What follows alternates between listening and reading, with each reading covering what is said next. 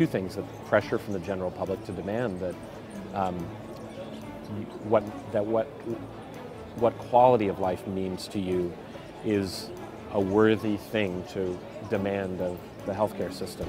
I think it's part of training and incorporating that, incorporating that in training. It's also part of the policy. You know, um, India's uh, financing of healthcare has been very limited, and um, the ability to um, make people feel that they are they can afford to have basic care for pain, for suffering, as well as for survival. That's that's important as India grows richer. I think it's disturbing to me. The goal is not a good death in my mind. The goal is a, a good life all the way to the very end. And I can see circumstances where there's such unavoidable suffering that that is a, the point of discussion. But in India, what I see is a huge amount of avoidable suffering that we're not providing for people who face the last phases of their life.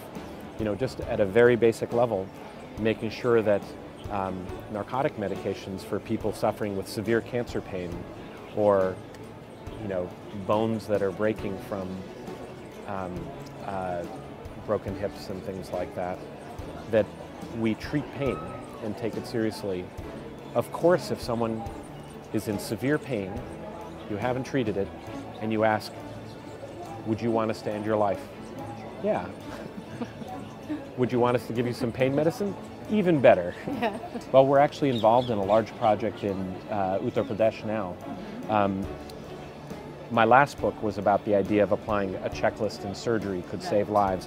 And we deliberately tested it not only in the US, we also tested in India. It was in in Delhi, in rural Tanzania, in the Philippines, in England, in the US, and taking a kind of pilot's checklist approach where the surgeon and team go through 19 key checks in less than two minutes, um, reduce deaths 47% across eight cities.